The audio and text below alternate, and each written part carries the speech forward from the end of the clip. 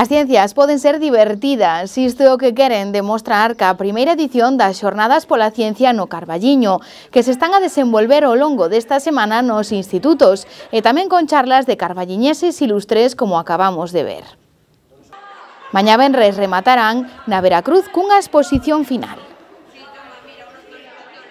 Estas actividades van a xurdiron como consecuencia de que este ano inauguramos o Clube de Ciencias no IES número 1 do Carballiño e falando co outro instituto, co Chamoso, que tamén coordinaron este ano un Club de Ciencias, decidimos leválo á rúa, que non só sexa teórico.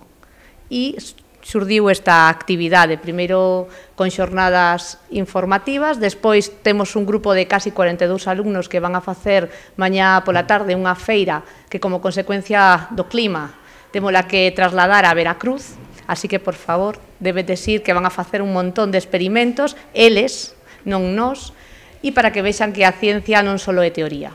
Nada, simplemente que queremos agradecer pois, a todas as persoas implicadas neste proxecto tan diferente e novedoso para chegar a, de alguna maneira á rúa pois a ciencia e que vexa o público en xeral o que facemos cos rapaces e rapazas no día a día no centro e tamén agradecerlles a eles que son os verdadeiros protagonistas e os que van a estar dando o callo mañá na, na feira científica.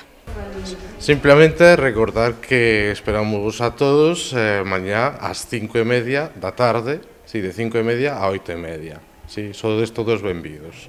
Oxe, chegámonos ata o IES número 1 do Carballiño, onde tiveron lugar varias actividades, como unha exposición de experimentos científicos feitos por alumnos, e tamén unha charla conferencia do doutor José Benito Vázquez, da Ubigo, baixo o lema Click on Physics.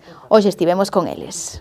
Vale, bueno, pois pues, hoxe vamos ter unha, unha charla interactiva de, de física para amosar conceptos relacionados eh, ca luz e, e o cor é unha charla que intenta amosar pois como vemos que, que influye no cor, etc. E a importancia de, de estar aquí, bueno, pois é importante que a universidade entre nos institutos, entre a sociedade, para dar importancia ao que se fai nos centros de investigación.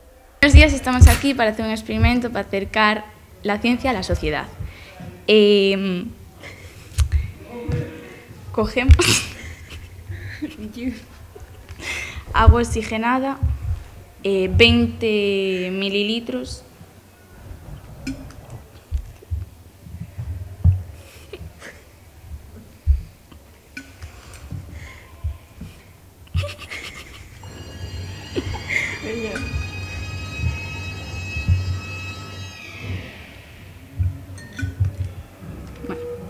Ahora, en un papel tenemos que poner perma...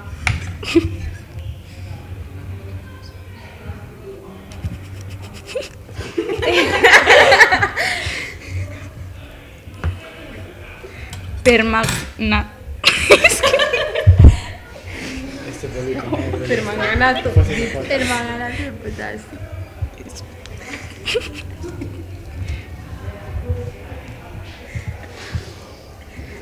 Y podemos ver la... El humilde.